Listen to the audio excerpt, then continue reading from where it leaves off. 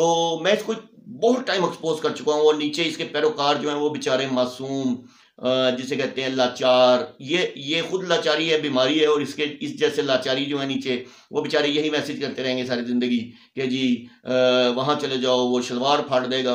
आप यकीन करें, छत्तीस वीडियोस में इसकी हर वीडियो के अंदर मैंने शलवार गिल्ली की है। अगर इसमें ज़रा सी भी गैरत होती ना तो ये मुझे एक वीडियो का जवाब मेरे नाम से लेके दे देता कि भाई वो एक बंदा फला है, वो इस तरह इस तरह की बातें करता है। ठीक है? तो मैंने चैलेंज दिए मनाजरे के। मैंने चैलेंज दिए मनाजरे के वो तक तो इसने एक्सेप्ट नहीं किए।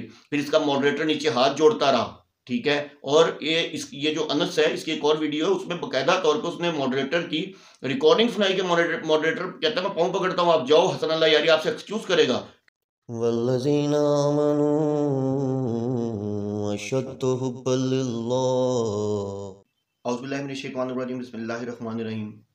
अमन तो बिल्ला व रसूल वलाखिर वज़ाहिर वलबातिन वहू अला कुल्ली शैइन अलीम। रबिश वाली सदरी व यसरली अमरी वालुलतामिलसानी यफ़क़हु कौली। मोज़ नाजरीन, भाइयों, बहनों, बुज़ुर्गों वालेकुम सिलसिला दज्जाली फितनों के हवाले से, जैसा कि मैं हसन अल्लाह यारी की जो उसके झूठ हैं, जो उसका जो यानी कि वो फ्रॉड कर रहा है और जिस तरीके से वो मलून इंसान जो है गुमराही फैला रहा है और जिस तरह के उसके, यानी कि अल्फाज होते हैं नौज़ बिल्ला माद अल्लाह कभी वो अल्लाह की शान में गुस्ताखी करता है, अल्लाह की किताब की शान में गुस्ताखी करता है, उसमें कहता है सतासी परसेंट तहरीफ है, और नबी पाक वसल्लम की शान में गुस्ताखी करता है, फिर हज़रत मायशा रज़ी अल्लाह की शान में गुस्ताखी करता है, और फिर साहबा कराम रज़ी की शान में गुस्ताखी करता है, और झूठे रेफरेंसेस झूठी बुक्स झूठी चीज़ें दिखा के वो उम्मत को गुमराह कर रहा है। तो उस हवाले से मैं तकरीबन कोई छत्तीस वीडियोस उसकी बता बना चुका हूँ जिसमें इवन के दो वीडियोस तो ऐसी हैं जिसमें एक में इसने अपने आप को गैर मुस्लिम यानी कि खुद अपने मुँह से अपने मुँह से इसने अपने आप को काफिर कहा। दूसरी वीडियो में इसने अपने अपने मुँह से इस चीज़ का एक्सेप्ट किया कि ये यहूदी लॉबी का एक हिस्सा है और ये एम आई सिक्स का एजेंट है। आज एक वीडियो मेरी नज़र से गुजर रही थी तो एक आ, कोई भाई है वो अनस नाम है उनका, उनके कोई मौलाना साहब हैं, उन्होंने इसके साथ ना मुनाजरा किया। अब आप देखें कि मैं वीडियो चलाऊँगा, बाद में चलाऊँगा, आप वीडियो देखिएगा। मैं इतना हंसा कि यानी कि इस इंसान ने, इस इंसान का असूल क्या है? इस इंसान का असूल ये है कि इसने वो जो आठ, दस, बारह किताबें हैं, उसके अंदर से जो चंद, यानी कि आपको पता है कि कन्फ्लिक्ट जो हैं, वही साहबा के इसके नज़दीक हैं और महतुलमोमिन यानी कि हज़रत आयशा रज़ी अल्लाह तु के हवाले से इसका कन्फ्लिक्ट है, बाग फ़िदक का हो गया और नौज़बिल्ला माजल्ला और इसके इसके पास इसके अलावा कुछ भी नहीं है। ना इस बंदे के पास कोई इलम है, ना कुछ है और वही मन घड़त रवायात हैं, अपनी झूठी किताबों से ये रवायात देता रहता है और वो भी मैं अब इसकी किताबों से एक्सपोज कर चुका हूँ। तो जो वीडियो मेरी नज़र से गुजरी उसमें एक अल्लामा साहब हैं, वो बाकायदा सबसे पहले इससे पूछते हैं कि भाई तुम ये बताओ तुम कौन से मदरसे से पढ़े हुए तो मज़े की बात है शियाओं वैसे मैं इस चीज़ पे हैरान हूँ कि उसने तो आपके मदारिस को मानने से, यानी कि जो है कि उससे ये मानने से इनकार कर दिया। वो कहते हैं, सारे मदारिस जो हैं वो गलत हैं, भले वो ईरान के हों, भले वो पाकिस्तान के हों। अच्छा फिर उसने कहा कि, भाई, तुम्हारे पास कुछ सनत होगी ना? ये देखो, मेरी सनतें हैं। ठीक है, मैंने अलामा का, यानी कि वो मेरे पास ये मुफ्ती का पूरा वो है। तो तुम्हारे पास कोई इस तरह की ये कहते नहीं, हमारे यहाँ बीस साल पढ़ लो, पंद्रह साल पढ़ लो सनत नहीं मिलती। अब आप देखें इसका झूठ। अच्छा यहाँ तक उसको सब समझ आ रहा है। अच्छा उसके बाद मौलाना साहब जो हैं, इसको यानी कि, यार ठीक ठाक उस बंदे ने इसकी बेजती की कि असल में हुआ यूँ है कि इसके साथ ना, इसके साथ जिसे कहते हैं ना, हाथ हो गया। इसको ये नहीं बताया गया कि ये मुनाजरा करना चाहते हैं और किस टॉपिक किस टॉपिक पे करना चाहते हैं। अगर इसको ये पता पहले पता होता कि ये अली मदद पे करना चाहते हैं तो ये क्या करता है, वही सेम कुरान की एक आयत है, जो कि मैं कई दफ़ा आपको बता चुका हूँ जिसमें ये अली मदद का, यानी कि हज़रत ईसा इस्लाम वाला जो वाक़ है, अपने हवारियों को जो वो कहते हैं, ये उससे साबित करता है, उसके बाद इसकी एक दो अपनी बुक्स है, उनसे ये बातें करता है। कुरान से जो सुनाता आयत, वो एक अलहदा ये बनाता है, ठीक है? असल में हुआ यूँ कि इस बेचारे के साथ हो गया हाथ।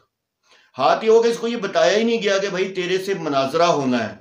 उनको ये बताया गया कि भाई को सवाल पूछ रहा है, उसको ये भी नहीं बताया गया कि कोई पहली दफ़ा पहली दफ़ा कोई मुफ्ती पढ़ा लिखा आ गया है। अच्छा अब आप देखेंगे, ये कह रहा है कि जी आप दोबारा अपनी रिकॉर्डिंग सुन लेना, आपकी आवाज़ सही नहीं आ रही। अच्छा बीच में बातों पे हंस भी रहा है, बीच में इसको बातें समझ भी आ रही हैं। आप वीडियो देखेंगे, आपको समझ आ जाएगी बात की। यार, जो बंदे ने इसको जलील किया है, यकीन करें कोई और वाकई कोई, यानी कि जिसे कहते हैं गैरत वाला होता ना डूब के मर जाता और ये यही कहता रहा, आपकी आवाज़ मुझे समझ नहीं आ रही, मुझे आपकी आवाज़ समझ नहीं अच्छा समझ नहीं आ रही, बीच में फिर बातें भी कर रहा है कि आप मुझे बकवास का लफ्ज़ यूज़ कर रहे हैं। भाई, तुझे कहाँ से भी समझ, तू हंस किस बात पर रहा? ठीक है ना? तो यानी कि आप ये देखिए कि इसका तरीकाकार है, इसका एक प्रोसीजर अच्छा फिर अगर फॉर एग्ज़ाम्पल यहाँ ऐसा कोई सवाल आप डाल दें जो कि इसको ना आए तो ये क्या करेगा? किसी और तरफ़ ले जाएगा पहले ना। उसकी एक तमीद बांधेगा तमीद बांधते बांधते किसी और तरफ़ ले जाएगा। उस सवाल को पीछे डालता डालता इतनी देर में बंदा एग्जॉस्ट होता है कि भाई, तुम मेरे सवाल का जवाब दो, जो तुमसे पूछ रहा हूँ। वहाँ ये उससे बहस करने लग जाता है। बहस करके उसकी वो जो होता है, उसकी कॉल काट देता है और लोगों को बताता है कि देखे नाजरीन, इसने ये सवाल पूछा था, हम ये कर रहे थे, वो कर यानी कि इंतहाई कमीना तरीन इंसान, इंतहाई जिसे कहते हैं दजल। वाकई एक दजाली फितना है। तो वीडियो चलेगी वीडियो या मैं बीच में चला दूँगा, या मैं अब चला रहा हूँ, आप देख लीजिएगा। आप वीडियो देखें और इसकी खबासत देखें कि इसको सब समझ भी आ रहा है और इसकी आप ड्रामेबाजी देखें। मैंने आपको कहा था ना, इतना बड़ा ड्रामेबाज है, एक उसमें ये रो रहा है।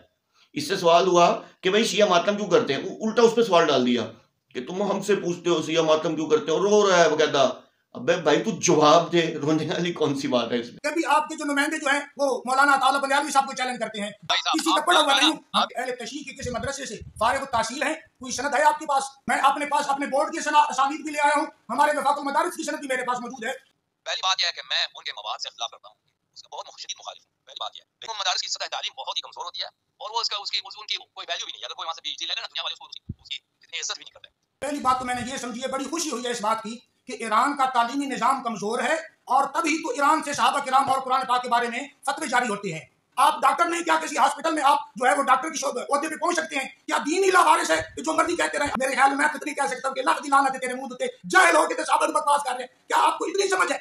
जिस मसलक से आपका तल्लक है। आप उनको भी बुरा भला कह रहे हैं। आलू समाल सुनत है। हमें भी बुरा भला कह रहे हैं। कोई बात नहीं कोई बात नहीं। आप अपना तारुफ तो कराएँ ना। आप आपका तारुफ कराएँ। आपका क्या नाम है? क्या इसमें गिरामी है? मोहम्मद जियाउल्लाह मेरा नाम है और ये जो है आपके सामने डॉक्टर अनस साहब तशरीफ़ फरमा है। हम जाफ़र साहब से ये बात हुई थी कि हम या अली मदद पर आपके साथ बात करना चाहते हैं। क्या आप किसी मदरसे के अहल तशी के किसी मदरसे से फारग तहसील हैं? कोई सनद है आपके पास? जानते नहीं मेरा सवाल सिर्फ़ इतना है कि क्या आप अहल तशी के किसी मदरसे से फारग तहसील हैं? किसी बोर्ड की सनद है आपके पास? या आप फजूल ही लोगों को गुमराह करने में लगे हुए हैं? जो लोग सिस्टम से वाकिफियत रखते हैं कि शियम सिस्टम में जो मदारस में, जो मैं पाकिस्तान की बात नहीं कर रहा क्योंकि पाकिस्तान के मदारस का मुझे नहीं मालूम।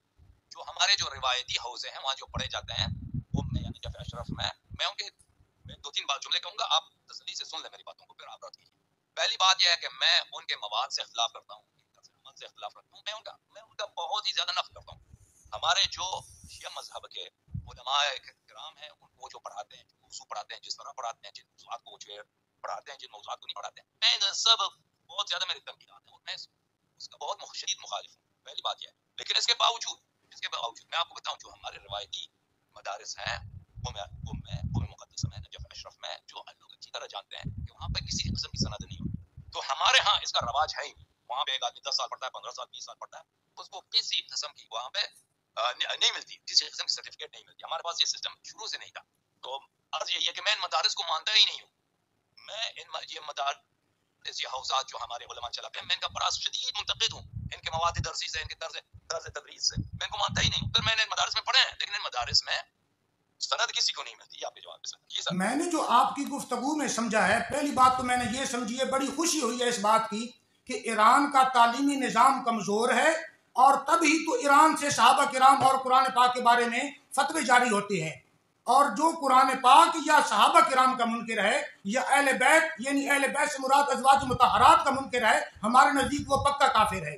दूसरी बात मुझे आपकी गुफ्तगु से ये समझ आई, शायद हो सकता है मैं गलत हूँ, आप बता देना। दूसरी बात ये समझ आई कि आपके पास सनद नहीं है, क्योंकि आप कह रहे हैं मैं इस निज़ाम के मुखालिफ हूँ। तीसरी बात ये साबित हुई, आप अपनी जबान से करार कर रहे हैं कि मैं एक जाहिल आदमी हूँ और आप मेरी जबान पर गुफ्तगु करें। पूरा मौका दूँगा इंशाल्लाह बोलने की आवाज़ कट रही है भाई साहब। आवाज़ नहीं कटेगी आवाज़ नहीं कटेगी। आपके कान जो है वो ये बात सुनने के लिए तैयार नहीं है। आपके कान ये बात सुनने के लिए तैयार नहीं। क्या दीन ही लावारिस है कि जो मर्ज़ी कहते रहे आप अपनी शियों को भी गलत कह रहे हैं मदारस के निज़ाम को भी गलत कह रहे हैं ईरान को भी गलत कह रहे हैं और साहबा किराम के बारे में बकवास करते जा रहे हैं। मेरे ख्याल में मैं तो इतनी कह सकता हूँ कि लख दिलाना थे तेरे मुँह दुते जहल हो के साहबा बकवास कर रहे हैं। क्या आपको इतनी समझ है? मैं पूरे यकीन से कहता हूँ आप मुझे जिस अदालत में बुलाए मैं आने के लिए तैयार हूँ लेकिन आपके शनाख्ती कार्ड पे आपकी बल्दियत गलत है। तभी तो आप साहबा किराम के बारे में और कुरान के बारे में बोलते हैं। जो सहाबा के बारे में जो कुरान को असली नहीं मानता उसकी शनाख्ती कार्ड पे बल्दियत गलत है। आप में तो इतनी हिम्मत ज़रूरत ही नहीं। जब आप आलिम नहीं मैं आपके साथ क्या मुनाजरा करूँ? जिसको मुनाजरे मोहतरम ठहरिए ना चाय ठंडी करके पिए कोई कोक पी लीजिए जरा सुकून कीजिए मैंने मैंने सुकून से गुफ्तगू सुनी है। ना मैंने आपकी गुफ्तगू सुकून से सुनी है।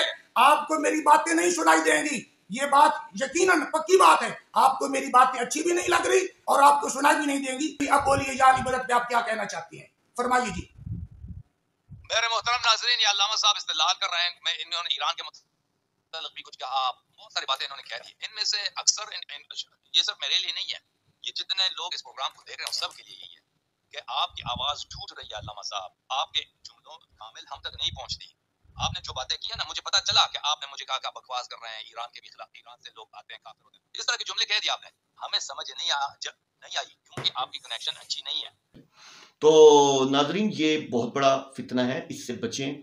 मैंने आपको बताया कि मैं तो एक्सपोज कर चुका हूँ कि अपने आप को या मैं इसका एजेंट भी मान चुका हुआ है, फ़लस्तीन पे जब इससे सवाल किया गया और उसके बाद यहाँ तक के, कि इसने अपने आप को मुसलमान नहीं कहा। इसने कहा, मैं मुसलमान या शिया में से कोई एक बनना चाहते हो। तो यानी कि मुसलमान अलहदा हुआ, शिया अलहदा हुआ, इसका मतलब शिया काफिर हुआ। जिसने मुसलमान का इनकार किया, वो कुफर हुआ ना, इनकार करना।